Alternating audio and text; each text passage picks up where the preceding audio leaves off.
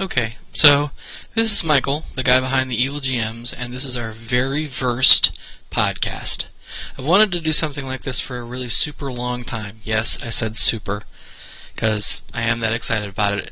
Anyhow, I've wanted to do this for a really, really long time, but I haven't had the technology or something has always seemed to get in the way, so we're going to try it. About a week ago, you may have noticed that there was a Legends and Lore article uh, where they talked about wanting to dramatically change. It was the unification one. They wanted to dramatically change uh, the structure of D&D, how it plays, how it's paced. And they made this comment that flabbergasted a whole bunch of people. However, our standard goal is to remove minimum group sizes, allow for complete adventure in one hour of play, and satisfying campaigns in 50 hours of play. Now, I think it's really cool that they took the time to set aside their design philosophy and like have, be so very clear about it. That's an exceptionally good thing. The weird thing is, is that I don't think anybody, even some of us old timers, really think oh, of that as what a role-playing game is like when you think about it, it's like you got all these books and stories, and it takes planning and it takes preparation, and it's this big, huge thing. And so I think people were confused by that as a philosophy. And it took me a while to wrap my head around it, but there's a theory in game design called abnegation. Now, normally it means well, it has a very technical definition, but when in reference to games, what it means is, is abnegation is when you get out of your head. It's the stuff you do so that you don't have to think the way you would if you were at work or, you know, if you're doing something serious. Abnegation is just setting all that aside and having fun. Well, so what they're doing is that they're they're looking at what a game is supposed to do and how it's supposed to feel. And in a rather nostalgic sense, they're going back to, well, how did games used to be? And the truth of the matter is, is that when an old school game worked well, it was a lot of fun because you just got together. If you were me, because you weren't old enough to drink, you you drank soda, which was about the only time that you got a chance to. You hung out with your friends for an afternoon, and it was you called it a day, and it wasn't like yeah, you talked about it outside a game. It was something you did passionately, but it didn't feel like work. It always felt like play. The thing is, is that as time has gone by, role playing feels less like just going to the movies or going to play putt golf and more like something that you really have to invest in and think about, like joining a bowling league. And there are a couple things that go along with that transition. The first is is that like stuff becomes serious. Like rules start to matter. Well, I can understand why they want to try for this old school style of play. And the reason is is because they're wanting to capture a part of the market that isn't being serviced by role-playing games. And that is the we're just going to casual slapdash, throw it together, play, haha, have fun, go home. Um, the evolution of games have made it so that people are spending more time, it's more serious, and there's less abnegation. Well, I think this is a good thing. I think this is actually it. It's one of the more interesting concepts to come out of these articles. Because honestly, I haven't liked a lot of what I've seen because I happen to like Fourth Edition, and the most of the reason that I like Fourth Edition is because that it took a very practical approach to what does and does not belong in a role-playing game. What they're saying here, though, is is that um, they want to capture a very fun style. And I agree with them. I think part of the problem is is that they've kind of forgotten what some of the bad old things were like, and part of the reason that games evolved, role-playing games changed. The first one of those is the one we all know. It's Linear Fighter Quadratic Wizard. Okay. Now, they keep referencing this principle, oh, we're going to fix it, oh, we're going to fix it, which, whatever, I'll wait and see. But they have already said that as part of their design philosophy that they want different people to be good at different classes to be different good at different times. And this goes back to an early problem that I used to refer to as banding, which nobody else does, so don't be confused by my use of the term. The idea is, is that in the beginning, like a fighter and a rogue, they're pretty good at what they do. They might actually be masters of the battlefield. They're they're really strong. But then as the casters gain more and more abilities, and if you follow Monte Cook and his cohorts' concept of how story evolves, the the nature of the campaign changes such that those players are those characters are no longer viable. They get dramatically overshadowed by what the other players can, the other characters can do. Um, you see this most often. I gave that example of the the parties trying to get into a fort, and the fighter says, "Well, I'm going to bend the bars," and the wizard says, "Well, I'll just use passwall," and you know the rogue says, "Well, I'll just sneak in," and the the wizard says, "Well, I can just let us fly," and so when one character reaches a point where they can do everything or close enough to everything, um, that becomes a serious, serious problem. Now, the evolution of role playing games has been that no player gets to dominate the table. That's that's been one of the defining movements over all the decades of role playing games. And that's a really strong concept because the moment that someone feels like their character is useless, it's gone beyond they're having less fun or maybe they're even having no fun.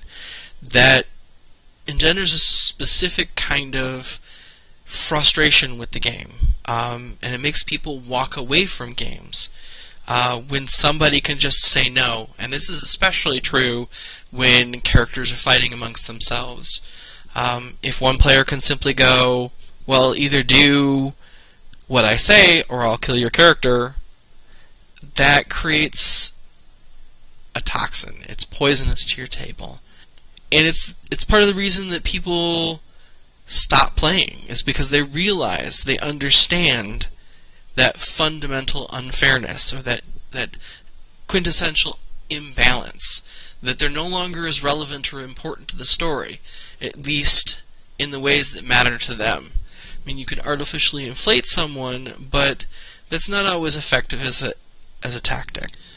The other big problem with old school role playing, um, and it's one that people tend to try and really, really gloss over, is the Mother May I problem.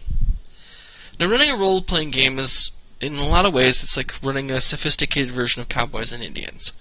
I mean, at the end of the day, the GM could do pretty much whatever they want. And the hope is, is that the GM will want to do things that are good for everyone. But this hasn't always been true. And as much as um, the people at WotC have have tried to gloss over this this very very simple truth, you can't escape it is is that on some level, almost every GM does stupid, imbalanced, unfair things. I'm guilty of it. Every GM I've ever seen has been guilty of it. Now, whether or not those things get out of control, whether they have a, a permanent damaging effect on their game, that's a different issue entirely. But the evolution of rules has to a certain degree been a bulwark against that mother may I mentality getting out of hand. Now, one of the more interesting discussions for me is whether or not rules have actually been especially effective at fixing both of these problems. I think when it comes to linear fighter quadratic wizard, the answer is a resounding yes.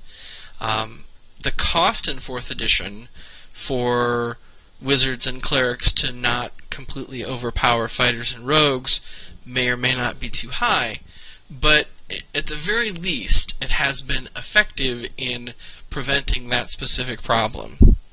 When it comes to Mother May I, when it comes to shielding the players from the GM themselves, that's an entirely different conversation. it's difficult to say that rules have been effective in preventing GMs from being douchebags.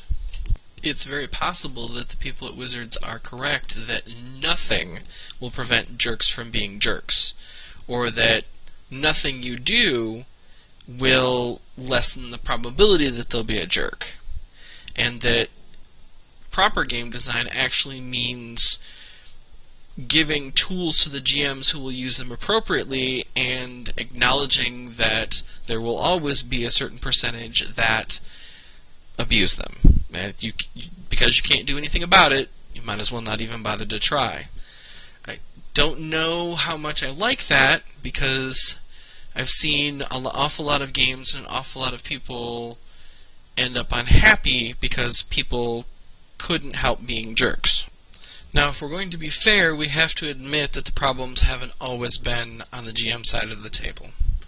Um, it is true that there is a certain mindset in 4th edition that the player can say, that's not fair, or they can demand that things work or turn out in specific ways. And I will grant that that byproduct of balancing has been uncomfortable for many GMs to deal with um, because it fundamentally challenges their ability to tell a story and it challenges their sense that they are eminently fair. I mean, most of us as GMs like to think of ourselves as being as neutral as is appropriate um, to strike that balance between simulation and fun.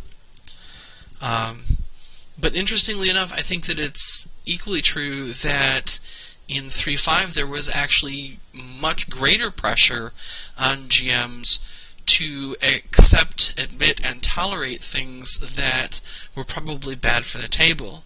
I know that while I was running 3.5, there were many times when there were things in books that I didn't think were good. Um, I remember that there were a number of feats that just drove me crazy. Um, but at the same time, because all of this stuff was sanctioned material, there was this tremendous pressure to permit it and have it work the way it worked in the book. Um, so that this idea that um, GMs are being hamstrung by um, the player's expectations of the rules is hardly new. Um, it's I think it's good and healthy that we're having this discussion about next about um, the way that affects the table and the GM's ability to do their job. Because um, let's be honest, it has in the past been a fairly serious problem. So if a vastly simplified rule set can serve the dual purposes of allowing people to get out of their heads and to relax and just have fun, and to endorse a more open, freewheeling cinematic playstyle, then you can definitely count me in. I think, however, that this is going to be far more complicated than any of the people at Wizards have been willing to credit for thus far. Um, we've spent a generation or more of gamers teaching players that mechanics, rules, these things matter, and that um, they have certain expectations. Um, and it doesn't help that video games have taught me much th- them much the same thing. That that there is there are rules and things that they can rely on because it's a very comforting thing to be able to have something that you can say that this will always work and you can't take this away from me. And one of the hallmarks of that high narrative style, though, is is that like pretty much anything can happen because it's really only limited by your imagination, the GM's imagination, and what the GM will accept as appropriate. I I hope it works out. I, I think that it's an interesting discussion to have. Um, and I think I'm going to leave it there. So thanks for listening to our first podcast. Um, I hope you enjoyed listening to it as much as I enjoyed making it. Uh, it, it, definitely was a different experience to hear my voice um, recorded like this. So have a good evening, and I'll talk to you later.